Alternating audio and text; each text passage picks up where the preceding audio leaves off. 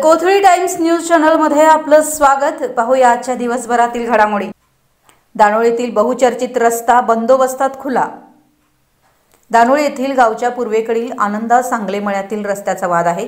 हा वाद बहुचर्चित आहे. त्यामुळे याबाबतचे वाद तक्रार दावे तहसीलदार शिरोळ यासह प्रांताधिकारी इचलकरंजी व न्यायालयात देखील गेले आहेत तसेच मुंबई उच्च न्यायालयातही पोहोचले आहेत शिरोळ तहसीलदार यांच्या आदेशानुसार अकराशे सत्तावन्न या गटातील सांगले यांनी अडवलेला रस्ता नायब तहसीलदार संजय काटकर यांनी पोलीस बंदोबस्तात खुला करून दिला.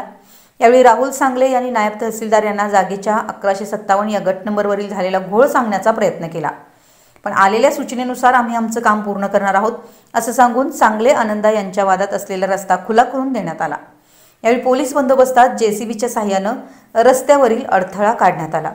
तलाठी शैलेश कोयगडे कोतवाल अकबर मुलानी तसेच जयसिंगपूर पोलीस ठाण्याचे पोलीस उपनिरीक्षक प्रमोद वाघ दानोळी बीट अंमलदार महादेव कोळी नाईक सागर मगदुम पोलीस नाईक गुलाब संदी Sagar Suryavanshi police Naik Khandagale comrade Pallavi constable Pallavi Chavan Priyanka Kadam Shashikant Bhosale Vijay Patil Rohit Dabale तसेच निर्भया पथकातील पोलीस कर्मचारी व शिरोळ पोलीस ठाण्याचे कर्मचारी उपस्थित होते.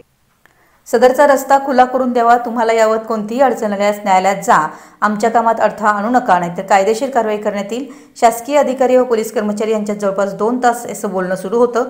सांगले कुटुंबांनी बघ्याची भूमिका घेत न्यायालयीन लढा करण्याचा निर्णय घेतलाय. द कोथळी टाइम्स न्यूज चॅनलला सबस्क्राईब करा लाईक करा बेल आयकॉनला क्लिक करा. ताज्या घडामोडीसाठी आमचा नंबर आपल्या ग्रुपमध्ये ॲड करा.